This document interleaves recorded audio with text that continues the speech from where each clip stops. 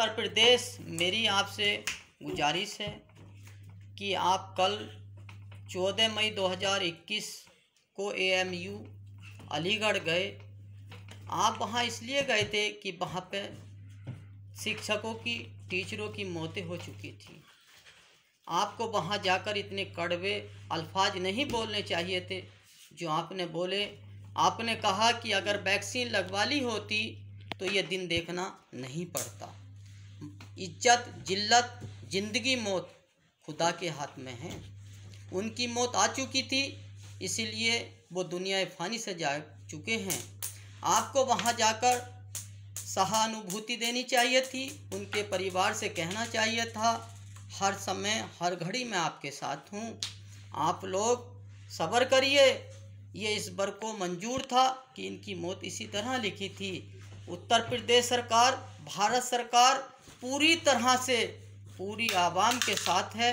हर संभव इसी कोशिश में लगी हुई है कि हमारे राज्य, हमारे मुल्क से एक भी व्यक्ति की मौत नाजायज़ ना हो। एक भी व्यक्ति मरता है, हमारे दिल को बहुत दुख होता है। हम अपनी रात और दिन इसी सोच और अफसोस में लगे हुए हैं। हमारी नींद हराम है कि आखिर ऐसी कौन सी आपदा हम पे आ पड़ी है कि हमारा पूरा मुल्क इसकी चपेट में आया हुआ है।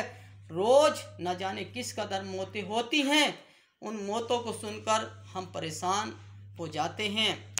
सीएम साहब, आपको तो इस तरह की बात करनी चाहिए थी कि उनके परिवार को लगता कि हमारा कोई रहनुमा हमारे बीच आकर खड़ा हो गया है।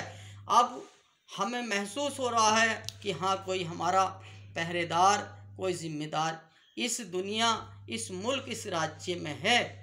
और आप सदा इतने कड़वे अल्फाज बोलते हैं कि आप कहते हैं कि कि मुसलमानों ने अपनी औरतों को चौराहे चौराहे पर खड़ा कर दिया है। आप कहते हैं कि इसलिए खड़ा किया कि कि अगर ये आंदोलन में आएँगे तो मैं इनकी संपत्ति जब्त करा लूँगा। सीएम साहब, आपका ये सोचना गलत है।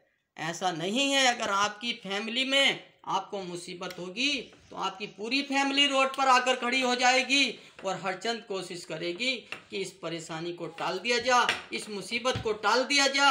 फैमिली इसीलिए होती, परिवार इसीलिए होता, रिश्तेदार इसीलिए होते हैं कि मुसीबत में काम आए।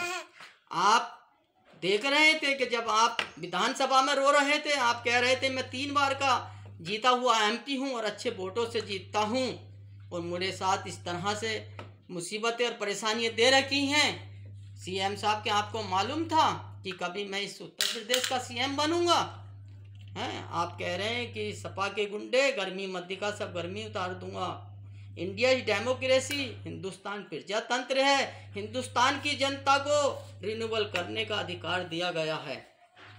हिंदुस्तान की जनता जिसे चाहती है, उसे रिन्यूअल कर देती है और जिसे नहीं चाहती, उसको रिन्यूअल नहीं करती है। आप life time CM Uttar Pradesh नहीं हैं। मेरी आपसे विनती है कि आप कोई भी कड़वा अल्फाज किसी के लिए ना बोलें। आप उत्तर प्रदेश के सीएम हैं। आपके लिए हिंदू, मुस्लिम, सिख, ईसाई सब बराबर हैं। सारी आवाम बराबर है। सभी को अधिकार बराबर मिले हुए हैं। आपको इस तरह की बात नहीं करनी चाहिए सीएम साहब। आप सुन लीजिए, ये रिन्यूअल सिस्टम है। अगर आप सीएम नहीं हुए और जिसको आप कह रहे गर्मी उतार दूँगा, और वो सीएम बन गया, फिर क्या होगा? सीएम साहब, आप इस चीज़ पे ध्यान दें। आप सीएम हैं एजुकेटेड हैं, पढ़े लिखे हैं आप। इस तरह की बात आपको नहीं करनी चाहिए। जय हिंद, जय भारत।